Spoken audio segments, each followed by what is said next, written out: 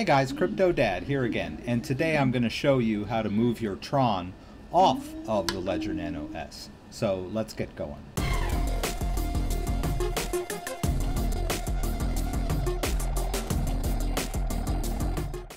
So I did a video on how to store your Tron on the Ledger Nano S um, and uh, got a lot of views. And it was I had been waiting for a way to do that for quite some time. I thought it was uh, pretty cool. And so uh, in the video, I moved my Tron uh, from my cryptocurrency exchange account in, onto the Ledger Nano S using the Tron Scan software interface. Uh, and you're basically not really storing the Tron on the ledger itself. Uh, the ledger basically just holds the private key of the blockchain address, and the Tron Scan software is sort of managing the interface. But I had a few viewers that uh, were having trouble figuring out how to get their Tron out of that uh, wallet.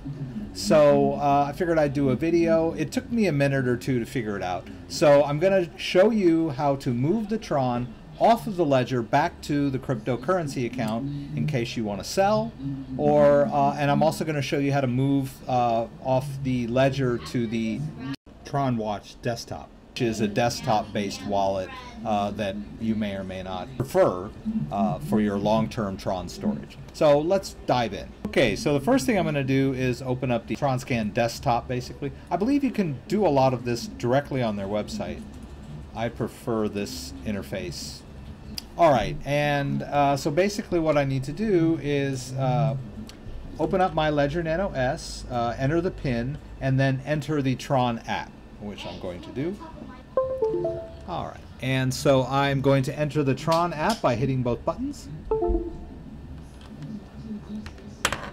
And now I can go up here to the wallet and uh, just open the account. All right, and there it is. Uh, there's about 4,000 Tron that uh, I moved into this wallet. And so what we want to do is move this back out. We want to uh, transfer it to somewhere else. Uh, I'm going to do two transfers out. I'm going to do the cryptocurrency exchange. Then I'll do the Tron Watch wallet, which is a different way to hold your Tron long term. so I'm going to go into Bittrex. Uh, Bittrex is compatible with Tron. And okay, so there's a little bit of Tron left on my in my Tron wallet on uh, Bittrex. So what I want to do is uh, deposit. I want to make a deposit, and I'll copy that Tron address. See, it starts with a, a uppercase T, and then I'll go back over here to the Tron Scan wallet. All right. Now up here at the top where it says wallet, we can just pull that down, and we've got this send feature. So I'm going to send in, I'm going to fill in the address, which is that Tron address, and it tells me how much Tron I have available and how much do I want to do. I can max it, but I'm not going to do that. I'm just going to do 2,000. All right. And so I've got my address, I've got my amount, and I'm going to click send.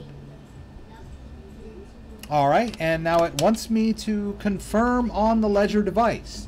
So if you'll notice there, it's asking me a question. So I'll hit the check, right? And it says successful transaction. Boom. And it uh, adjusted the balance there. And uh, we can go over to Bittrex and just uh, wait. We're to have to wait a few minutes. This might be a good time. It's 2.28 in the afternoon, Pacific Standard Time. And let's see if we've got any pending deposits yet. Not yet. So it takes it a minute or two to show up in pending deposits. So we'll keep an eye on that. And so also, uh, I wanted to show you how to do the Tran. Doggone it. I keep calling this Tran. All right. So I'm going to show you how to uh, do the Tron Watch wallet. And, uh, oh, I'm sorry. So it's on the Tron website. It's a community-based wallet.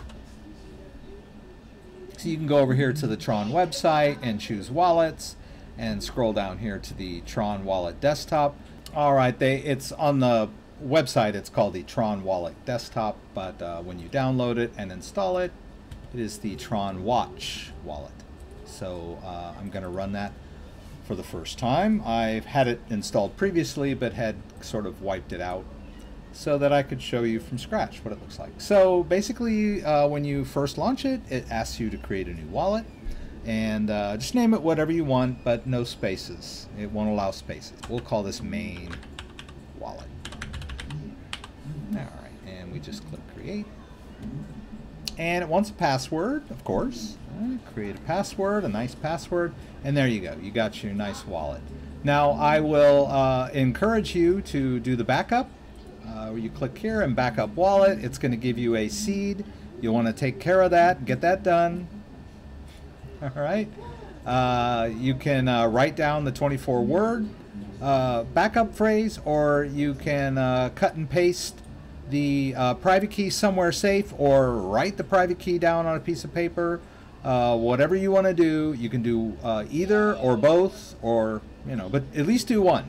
All right, and you'll be able to restore your wallet in case the computer crashes the hard drive uh, dies or uh, you know you have to move to a different computer. Uh, you always want to have a backup right?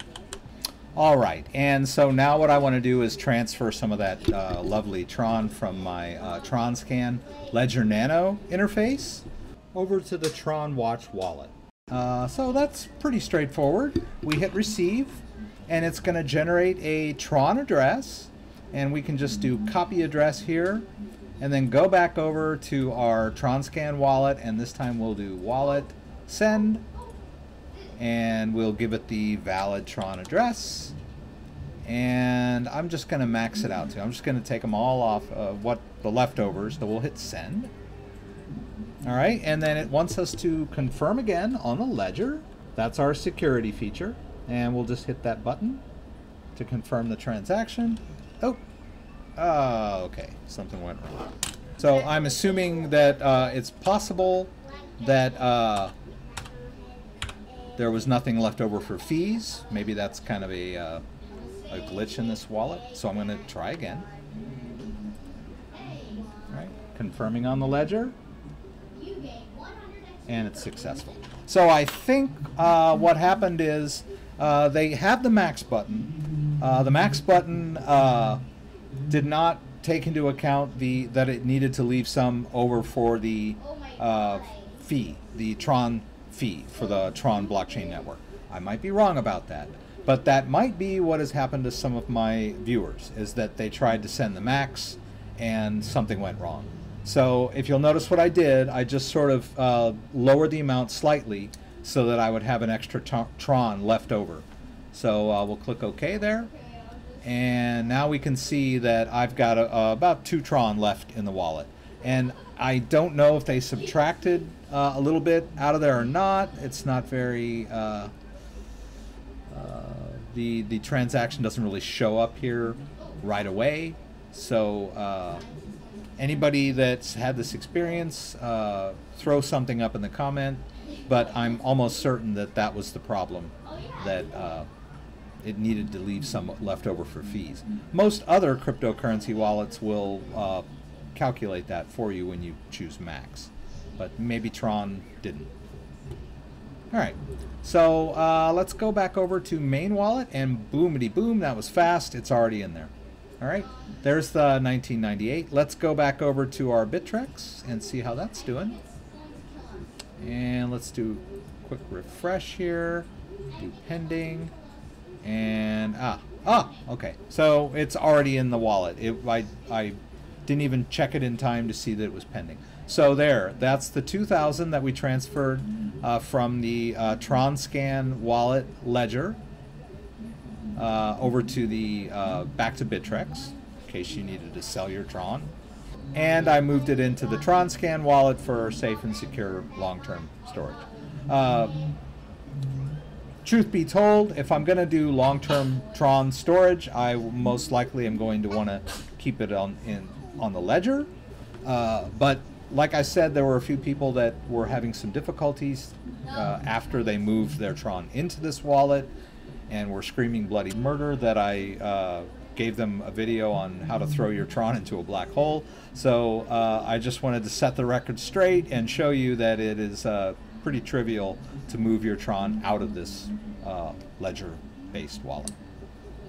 So I would like to remind everyone that I have a uh, live stream every Friday night, Pacific Standard Time, 6 p.m. Uh, join me for the guys, please. So I would like to remind everyone that I do have a live stream every Friday night at 6 p.m. Pacific Standard Time.